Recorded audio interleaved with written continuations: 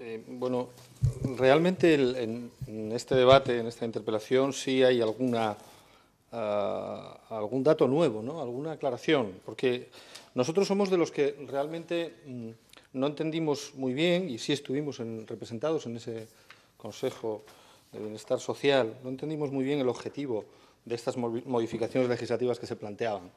Y realmente la consejera yo creo que ha sido clara en los objetivos de esas modificaciones que se plantean. Eh, lo que, mm, la duda que nos surge ahora es si eh, realmente estas modificaciones, sobre todo ese, procedimiento nuevo de concesión express, digamos, de la prestación, es un, eh, es un procedimiento útil, digamos, para, mm, en aquellos momentos en los que surge la alarma, desatascar el procedimiento y esa lista de espera.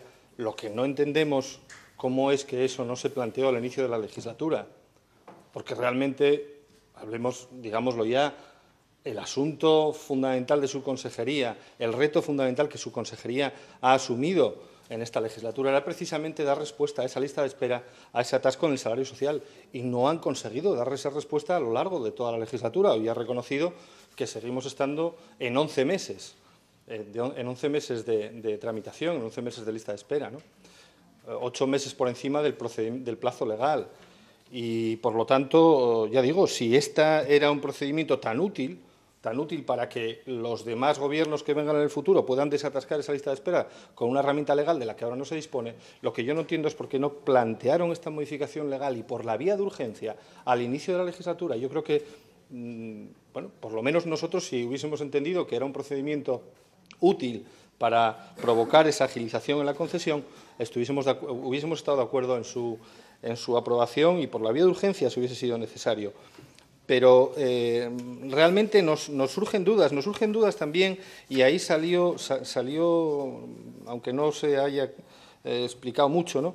en relación, por ejemplo, con el apartado 4 del borrador de la reforma de la ley, ¿no? en ese inciso que ustedes introdujeron, por cierto, en el trayecto desde que se remitió los proyectos a, a los eh, miembros del Consejo de Bienestar Social y luego el propio Consejo. O sea, ahí fue donde se presentó, no coincide con los borradores previos, ¿no? en donde se habla de esa,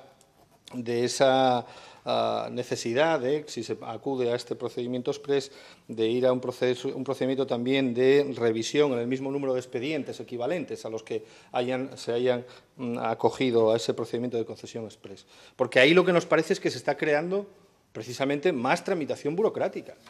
No sabemos eh, realmente cómo se van a reducir los plazos de tramitación si se está haciendo un nuevo procedimiento de concesión especial con menos requerimientos, pero que debe de ser revisado en el plazo de 12 meses y además añade otra obligación de realizar paralelamente un procedimiento de revisión de expedientes ordinarios ya en vigor.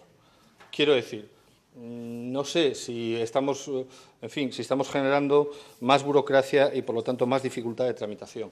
En todo caso, el, reconocer que hace falta ese procedimiento de concesión express también es un reconocimiento expreso de una impotencia y de una incapacidad de gestión, porque cada vez que hemos tratado este tema aquí, y se ha tratado de forma muy reiterada a lo largo de esta legislatura, realmente lo que usted ha manifestado, señora consejera, que necesitaba más medios humanos y más herramientas y una mejor herramienta de gestión que era ese eh, programa informático, esa aplicación informática de que no se disponía la consejería.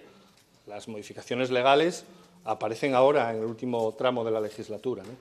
Entonces, en fin, nos, eh, surgen, dudas. No nos cerramos a ninguna posibilidad de modificación legal que pueda eh, agilizar el procedimiento, pero desde luego a nosotros nos parece que donde sigue estando el problema sigue siendo en la gestión.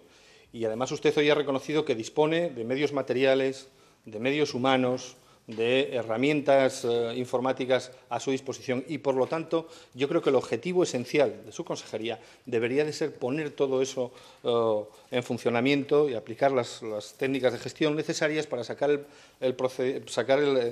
todo el aprovechamiento posible a esos recursos que no disponían y que ahora sí los tiene.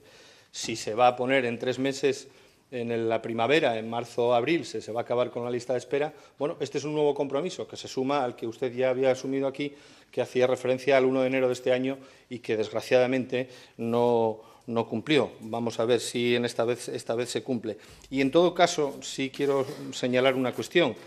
cuando se habla de que su Gobierno ha incorporado un 40% más mm, de, beneficiarios, si se habla de que ahora mismo hay 29.500 asturianos que, eh, que, reciben esta, esta prestación o que están vinculados a esta prestación, esa es una foto, a mi modo de ver, terrible, que no habla de, a mí eh, realmente, que habla de, no, habla en realidad de la, uh, digamos, de la agilidad de un gobierno, de la capacidad de gestión de un gobierno, habla, desgraciadamente, del uh, inaceptable aumento de la pobreza en Asturias y, desde luego, en España.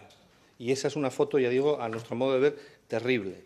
Terrible, porque esa incorporación lo que quiere decir es que hay un empobrecimiento general de importantes capas de la, sociedad asturiana y no deberíamos de mostrarnos orgullosos o de exhibir orgullosos esas cifras, porque eso también, eso también supone mostrar el fracaso de una política que ha sido incapaz de contener y de limitar ese aumento de la uh, pobreza, ya digo, a nuestro modo de ver, absolutamente inaceptable. Gracias.